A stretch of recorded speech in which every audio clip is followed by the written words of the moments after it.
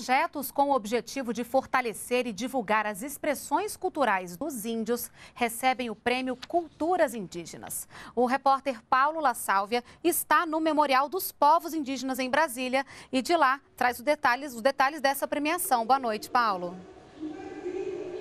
Boa noite, Renata. Esta é a quarta edição do prêmio. Ao todo, 100 iniciativas estão sendo premiadas de todos os estados e do Distrito Federal. Quem vai conversar um pouco com a gente sobre o prêmio é a secretária de Cidadania e Diversidade Cultural do Ministério da Cultura, Márcia Hollenberg. Boa noite, secretária. Como que os trabalhos desenvolvidos aqui nessa quarta é, iniciativa do prêmio contribuem para o entendimento da cultura indígena no país?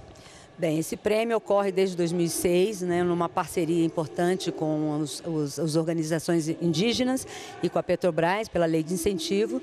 E nessas quatro edições, a gente soma aí 356 iniciativas que são reconhecidas e valorizadas é, como um patrimônio, como dando visibilidade né, ao trabalho e à cultura indígena. O Prêmio de Culturas Indígenas se insere na política do Ministério da Cultura em relação a causa indígena. O que a senhora poderia destacar, além do prêmio, em relação às políticas voltadas para a causa indígena no país?